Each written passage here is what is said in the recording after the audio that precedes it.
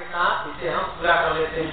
और इसमें कोई ज़्यादा की ज़रूरत नहीं पड़ती है केवल घी और थोड़ा सा समझा ये जो शकील वगैरह है, जल का प्रयोग होता है इसमें। और बाकी केवल मन का, मन की शुद्धि कैसे हो, अग्निदेव के वो तेज को कैसे धारण करे। और जो हमने संकल्प लिया है, वह खंडित ना हो, बस यही ध्यान रखना है जीवन भर ओम